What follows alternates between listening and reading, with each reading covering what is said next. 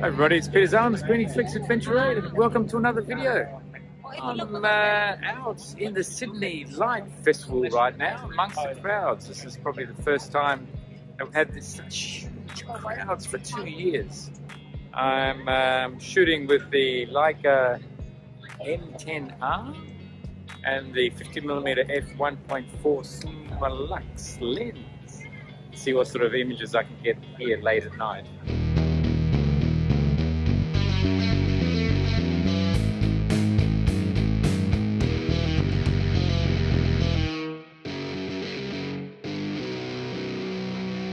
And um, not sure whether I'll be doing much talking today, but I'll just maybe take some shots, maybe go to Lightroom or something, but at least uh, review the shots for you to see in a slideshow.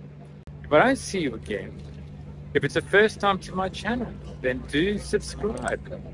Press notifications. You'll be notified when the next video is out. And uh, if you like the video, then give it a thumbs up and uh, that helps the channel, of course. So I look forward to seeing you on the next video.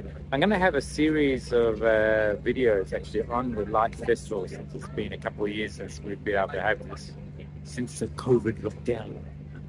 So do tune in again. I'll see you in the next video. Thanks for watching. Cheers. Bye.